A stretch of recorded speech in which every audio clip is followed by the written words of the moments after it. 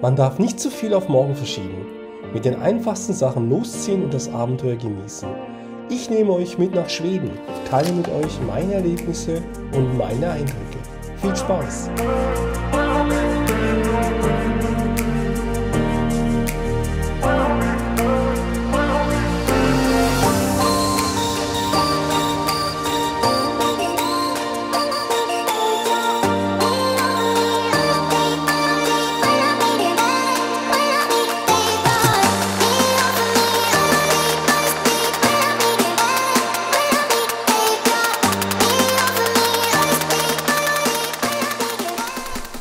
Ja Leute, ich habe hier wunderbar geschlafen.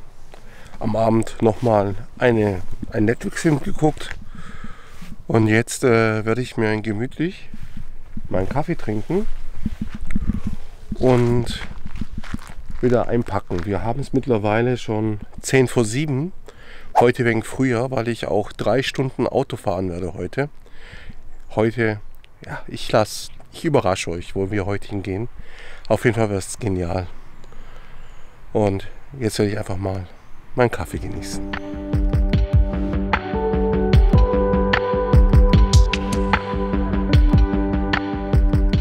Weil ich jedes Mal gefragt werde, wie ich das mit meiner Toilette gelöst habe. Das ist meine mobile Toilette. Und mein Ausstellzelt, um mich umzuziehen, zu duschen oder eben aufs Klo zu gehen. Nur, dass ihr wisst, ich werde all das, was ich hier habe, unter dieses Video immer verlinken. Unter meinen Schweden-Tour-Videos findet ihr eigentlich zu jedem Equipment einen Amazon-Link. Für euch wird es nicht teurer. Ich kriege ein paar Cent dafür. Nur, dass ihr Bescheid wisst.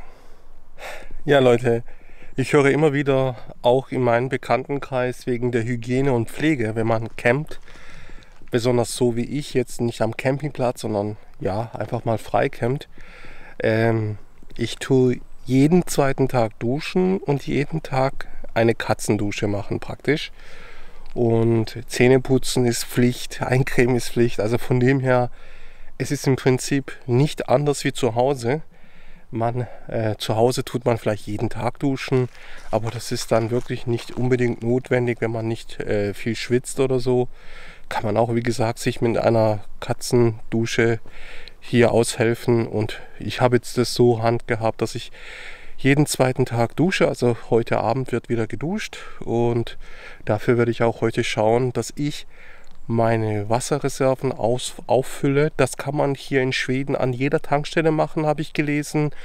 Auch Friedhöfe, da gibt es auch Wasserhähne, kann man seinen Kanister voll machen. Sagt anscheinend keiner was. Ja, und ich muss heute eh wahrscheinlich tanken und dann werde ich beim Tankwirt fragen, ob das für ihn in Ordnung geht, wenn ich meine Wasserreserven auffülle. Bei mir sind es ja circa maximal 30 Liter. Dann ist alles bei mir wieder voll für die nächsten Tage. Apropos Hygiene, gleich werden die Zähne geputzt. Ja, jetzt habe ich ungefähr eine dreieinhalbstündige Autofahrt nach Nova Quill ich guck mal, Nora Quill Nationalpark. Da möchte ich hingehen, dort möchte ich wandern. Also hier ist die Geschwindigkeitsangabe bei 100 km/h und es ist, ich fahre so circa 90, 95, halt ein bisschen unter 100. Aber es ist ein total angenehmes Fahren, also fast kein Verkehr. Von dem her wirklich schön jetzt gerade zum Autofahren.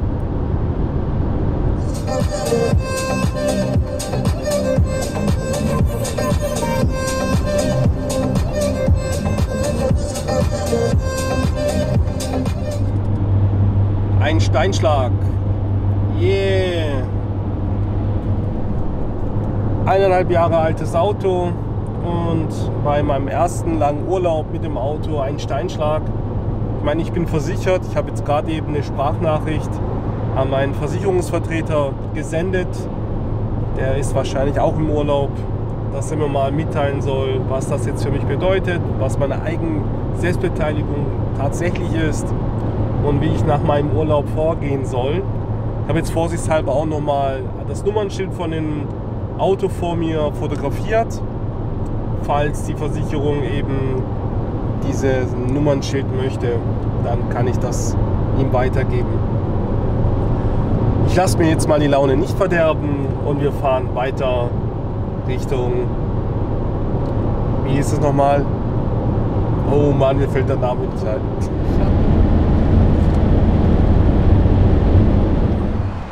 Ja Leute, ich hatte wieder mal Glück.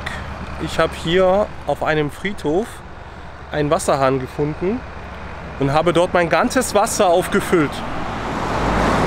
Also meine Dusche ist jetzt wieder voll, mein großer Wassertank mit 20 Liter ist jetzt rammelvoll und meine, mein kleiner Kanister mit 10 Liter ist auch voll. Das heißt, ich kann wieder draußen irgendwo am See übernachten und ja, entweder bei Tankstellen oder bei Friedhöfen habe ich im Internet gelesen, kann man das machen und in dem Fall war dieser Tipp richtig. Ich zeige es euch nochmal. Hier über 20 Liter. Okay, zwei Liter werden noch reingegangen, aber ja. Und hier mein 10 Liter Kanister und nebendran meine mobile Dusche, die voll ist. Das heißt, mindestens einmal komplett duschen oder dreimal sogar komplett duschen möglich. Jetzt geht es weiter. Ich habe noch circa eben eineinhalb Stunden Fahrt vor mir und ich freue mich schon auf den, diesen Nationalpark und an die, auf diesen See. Ja Leute, wir sind jetzt hier bei Nora Quills Nationalpark. Ähm, hier ist auch der Bereich, wo wir mit unseren Wohnmobils, Zelten auch übernachten dürfen. Also ich werde auch heute Abend hier übernachten. Ich bin ungefähr drei, dreieinhalb Stunden Auto gefahren. Und das Gute hier, hier sind auch äh, Sitzbänke, wo man sich mal hinpflanzen kann am Abend, äh, vielleicht was essen kann. Mülleimer sind vorhanden, da könnte ich mir mal Müll entsorgen. Ja, ist ein schöner Rastplatz hier hinter mir, vielleicht zu sehen. Ich hoffe ja. Ähm, ich zeige euch mal hier die Schilder. Vielleicht.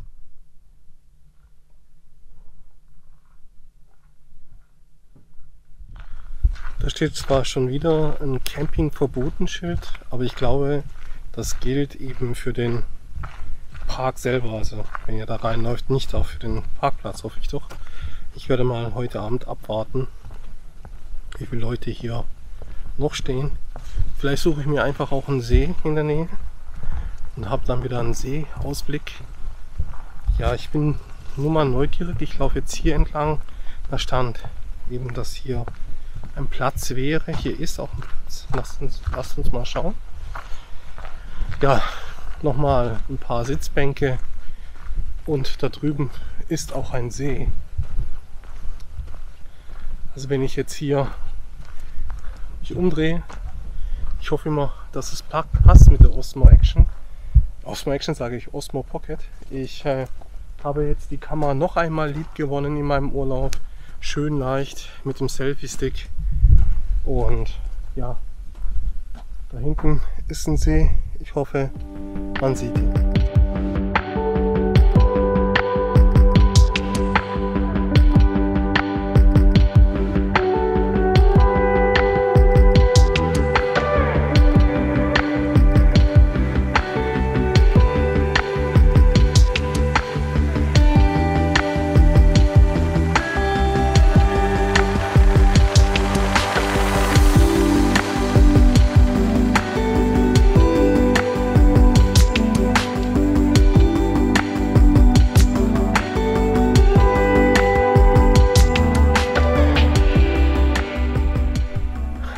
Schweden ist wunderschön, hat natürlich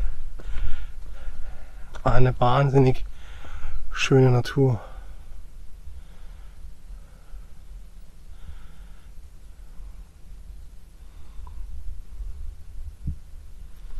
Und so, wenn ich jetzt die Kamera runterhalte, hoffe ich, dass er die Steine hier aufnimmt.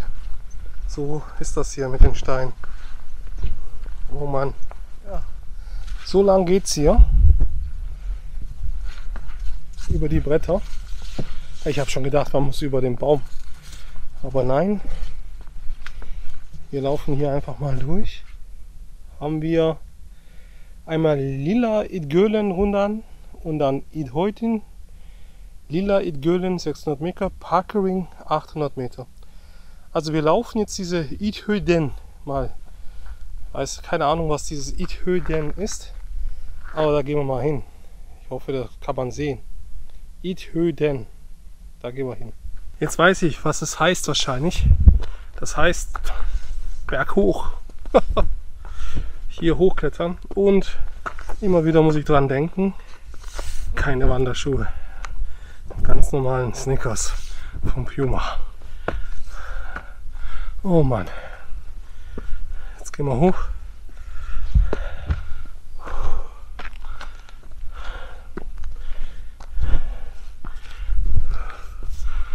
Gutes Arschtraining.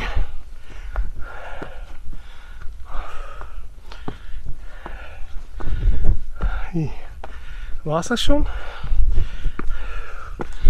Tatsache. Hey! Puh. Und geht's weiter. Gerade Ussi. Okay Leute, scheint, dass ich angekommen bin. Hier. Wahrscheinlich ist es diese Aussicht hier, was gemeint ist.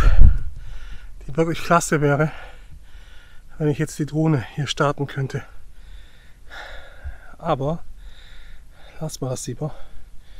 Naturreservat. Ja, richtig, richtig toll. Ja, das sind circa 1,6 Kilometer. Da hinter mir ist da das Schild. Bis zum Parkplatz 1,6 Kilometer. Man läuft zwei Kilometer. Ich schwitze jetzt, weil es so warm und so schwül ist. Von der Anstrengung her geht es echt. Kann man machen.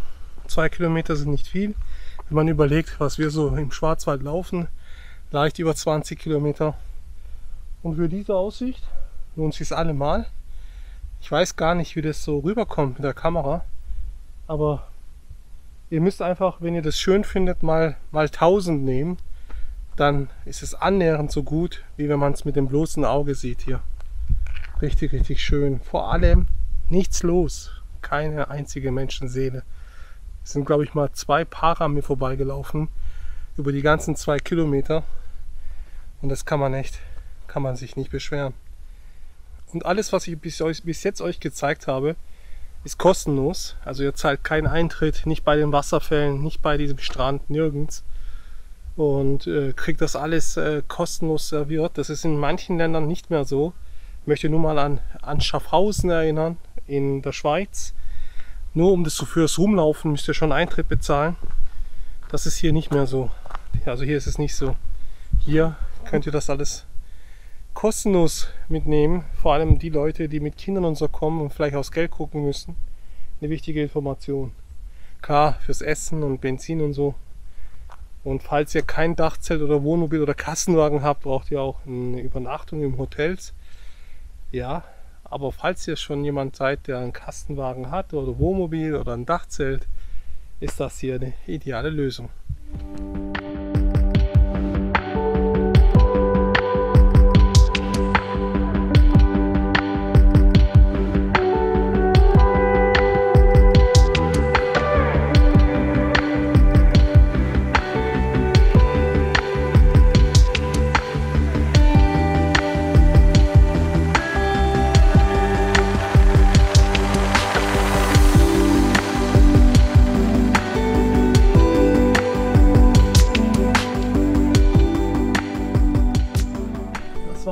Von Nora Quills Nationalpark.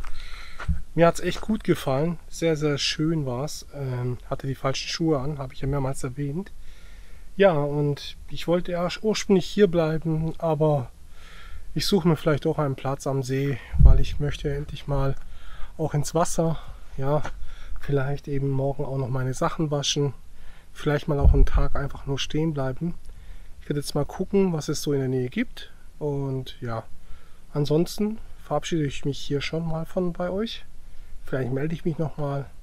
Und wenn nicht, dann bis morgen. Denn morgen gibt es auch wieder was Interessantes. Ganz bestimmt. Ich bin raus, euer Murat. Few